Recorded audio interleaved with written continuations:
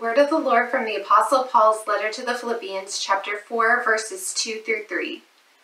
I entreat Euodia and I entreat Syntyche to agree in the Lord. Yes, I ask you also, true companion, help these women who have labored side by side with me in the gospel, together with Clement and the rest of my fellow workers whose names are in the book of life.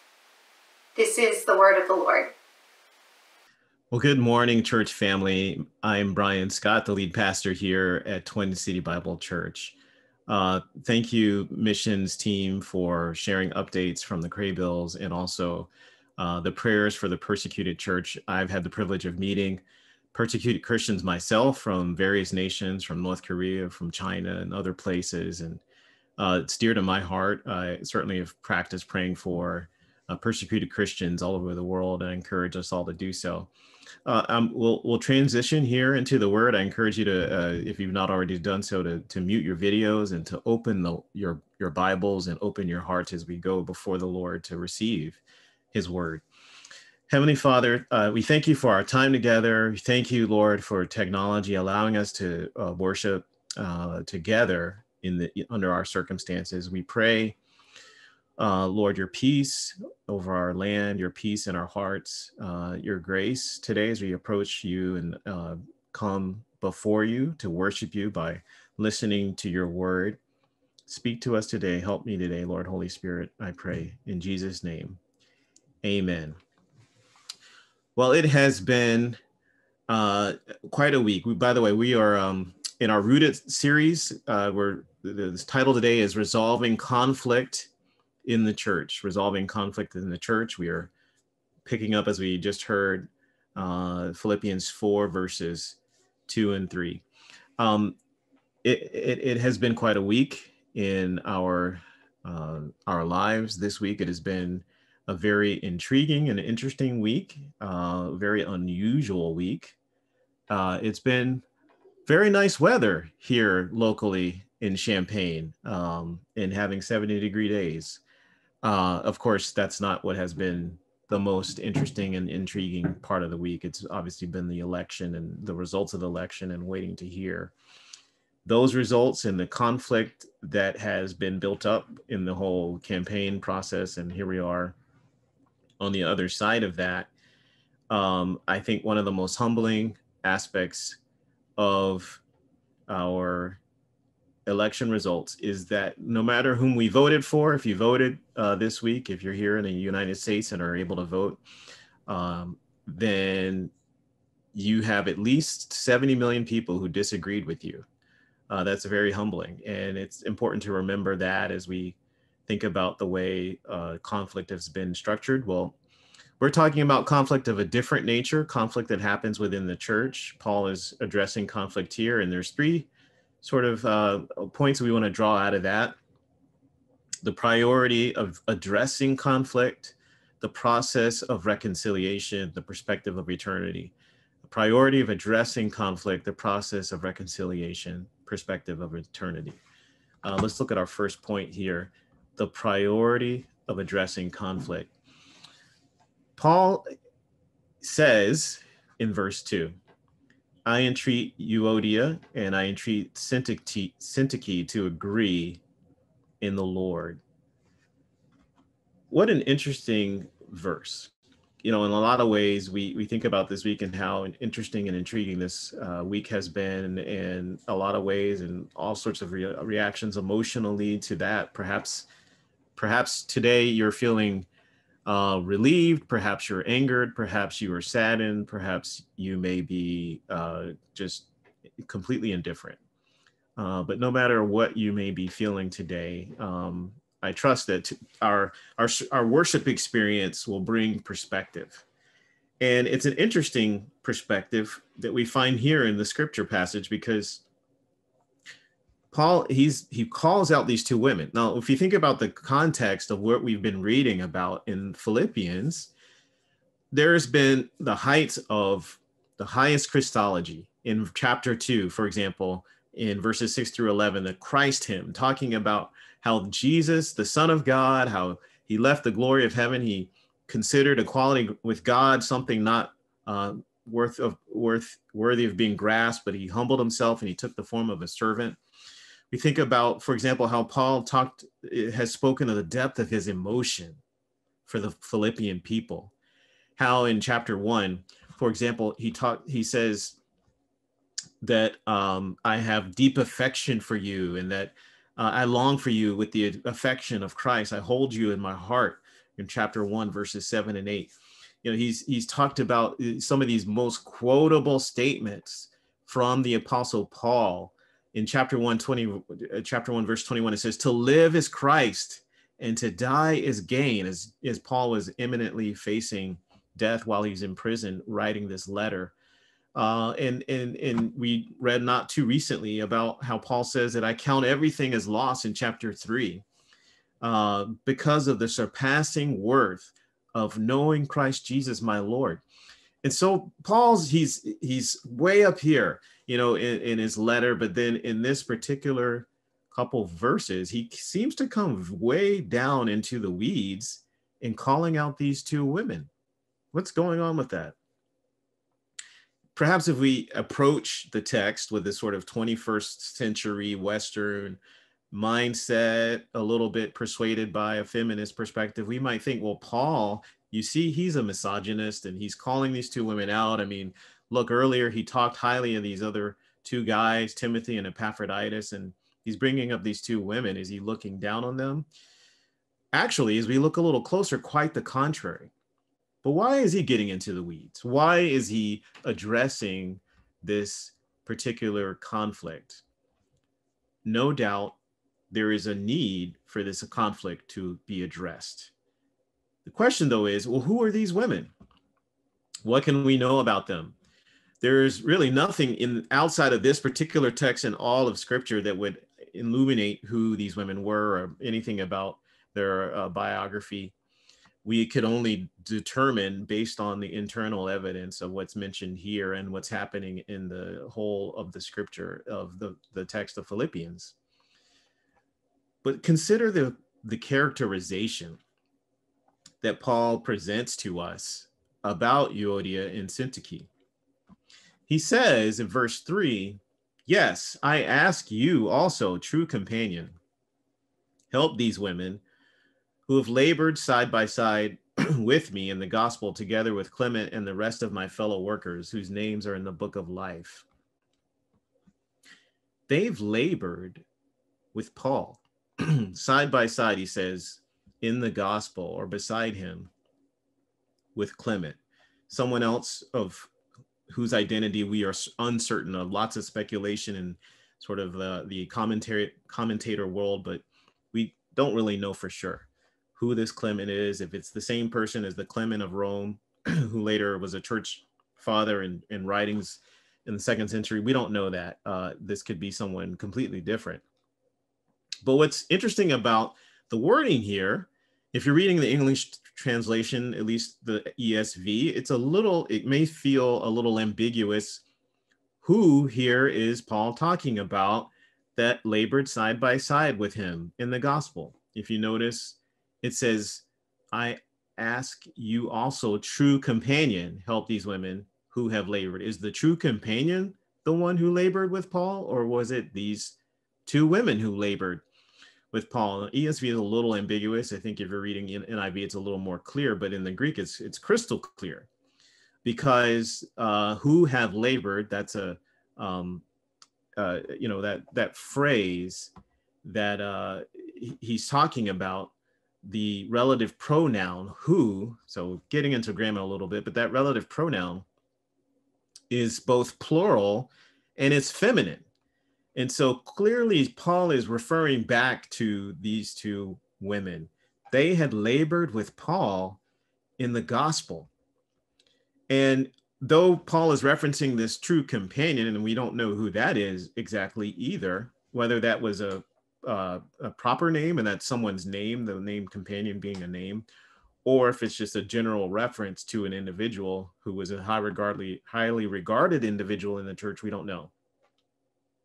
But we do know that these two women who are in conflict, because he's commanding them and urging them to agree using a very strong language, entreating them to agree in the Lord, um, they were leaders. They had ministered with Paul. And in fact, he says that along with Clement and those who were also fellow workers with Paul, they their names are written in the book of life. These two women are true believers. And that's important because throughout the letter thus far, Paul, Paul's made some very clear distinctions of not only what who is in the church and who's outside of it, and, and also those to look out for even among the believers of not to follow after their way. Here's what I mean. Paul talks about at the end of chapter one, uh, he encourages the church to be in unity and to be standing firm uh, in one mind, not being afraid in any way of those who are their opponents. He's talking about non believers outside the church. He's saying, don't be afraid. In the similar way, we were just listening to the video and praying for the persecuted church. The encouragement is don't be afraid of those who persecute you, don't be afraid of those outside. That's a distinction. The, the sort of ethos of the church is not to placate towards one's uh, opponents outside of, of the church and say, well, it's really not that important what we believe, and let's just try to find common ground. That's not the ethos of the church. Paul says, hold on to who your identity is as followers of Christ. Hold on to the word of God that defines who you are and who you have become, having been taken out of darkness and put into God's marvelous light and being a part of his kingdom. Paul also had distinctions in the earlier in chapter three when he talked about the circumcision party, the Judaizers, those that claimed Christ was not sufficient. It was Christ plus Christ plus circumcision, Christ plus following the law that achieved salvation. Paul says, "Be oh, be on guard. Uh, look out for them. They're they're like dogs." and and so there's a distinction there and later in chapter three we read um, uh, not long ago and uh, last week even where paul talks about those whose god is their belly and those that um, they're enemies of the cross so paul's created some distinctions and by the way the folks that he's talking about the last two categories would include people who, who attend the church, who are in the church, who consider themselves a part of it. So for Paul to talk to these women and say that their names are in the book of life, they're not women in these other categories. They are true believers. They're Christians. Yet they were in conflict and not only were they in conflict, not only were they true believers, they were ministers. They had walked side by side with the apostle himself. They were not those that sit on the back row. And of course, nowadays, no one sits on the back row because we are unable to really meet in person. But they weren't the last ones to kind of sneak in and as worship has started and sit down and sort of the first ones to leave so they don't have to engage anyone in the worship service they were some of the first ones to show up for church and some of the last ones to leave after they've talked with people and ministered to people and prayed with people. They were two women who could be ministry leaders, ministry team leaders. They could have been on the missions committee and or they could be on our uh, shepherding committee. They could be on staff. These women had clout. They had responsibility they had influence what do we can take what can we take away from that it's a it's a long standing occurrence for christian leaders to be in conflict for conflict to happen even within the church their salvation was not in question here. Their maturity was not in question. Their giftings were not in question. But their disagreement needed to be put in check. They weren't church members complaining about the music or the car- color of the carpet, they were more likely ones who led the music or who were deciding about uh, things like the decor or policy or ministry or other engagements happening in the church. These women were leaders. They were experienced ministers and they were in conflict with one another.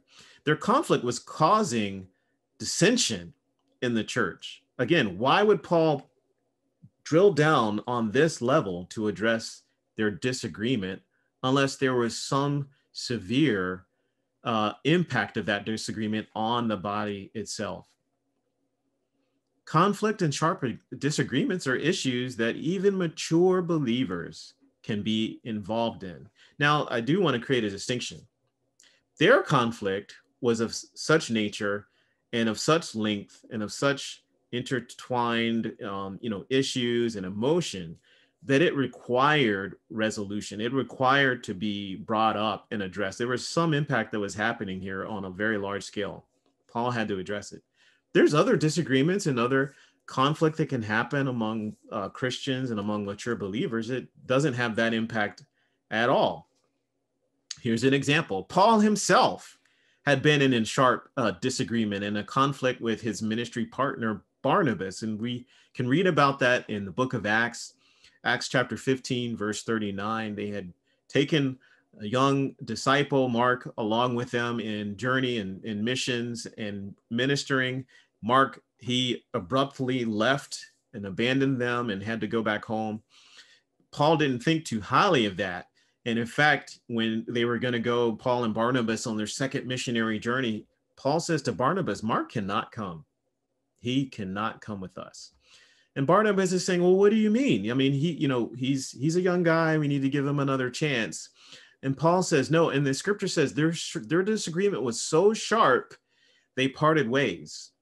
Barnabas took Mark and they went off. Paul grabbed Silas and he has Timothy and and then they go and they start revisiting the places that Paul and Barnabas had formerly visited.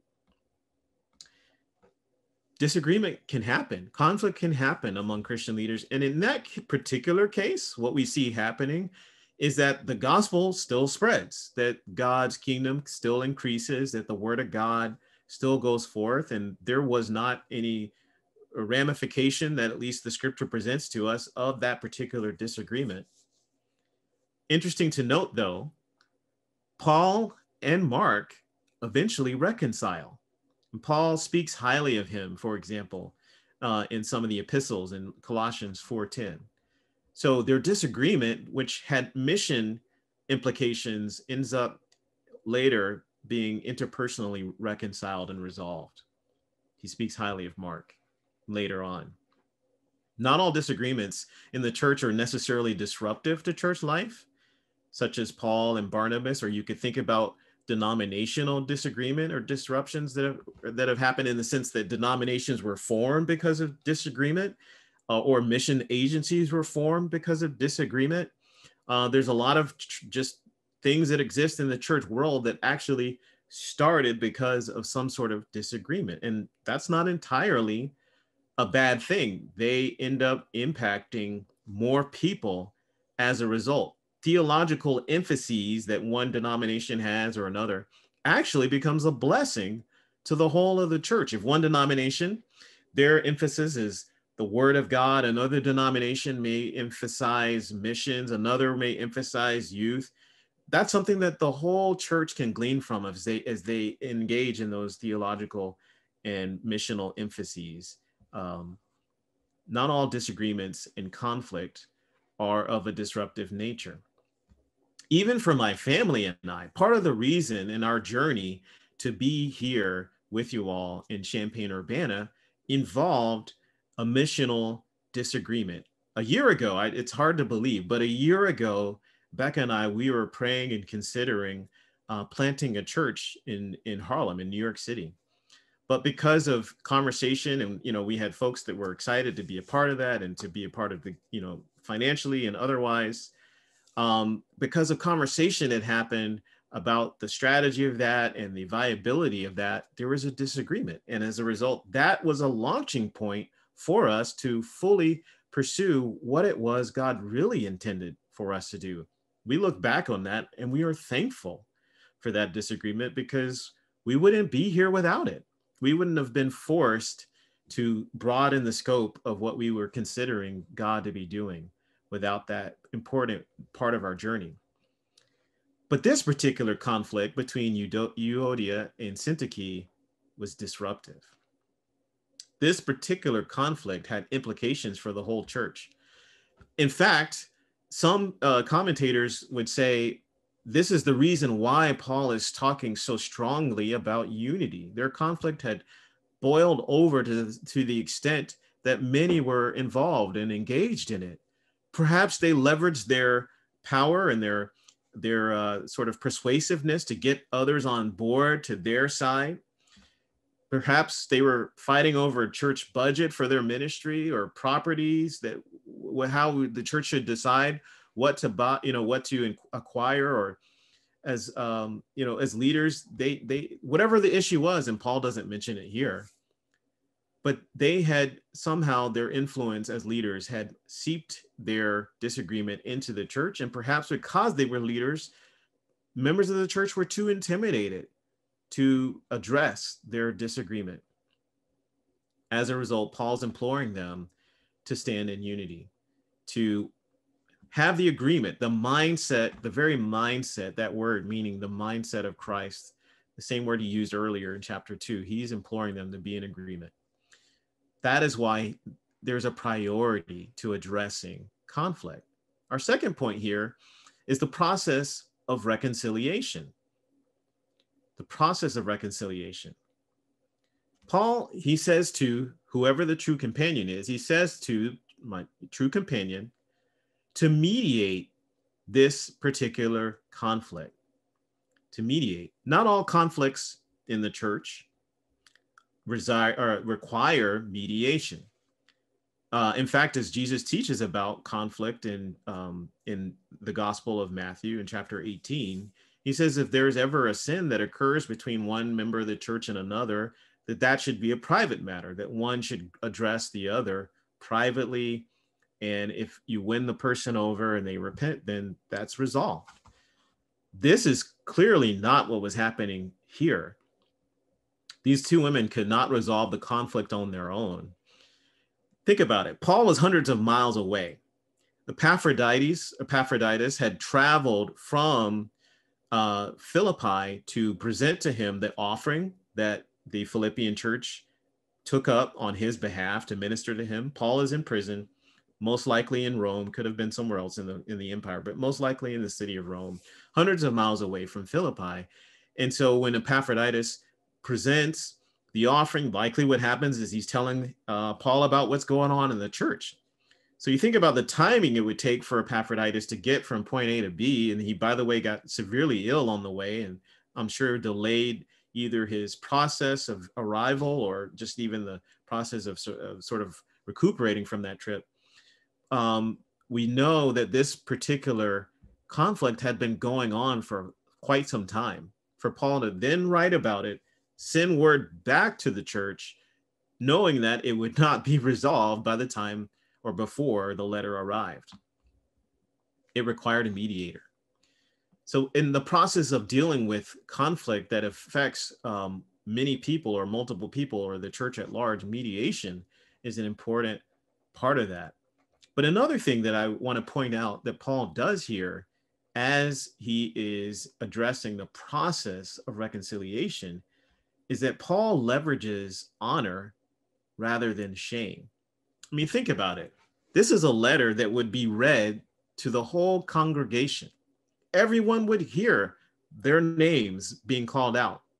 But Paul doesn't say, you know, you two leaders, you should have done this or you shouldn't be doing that.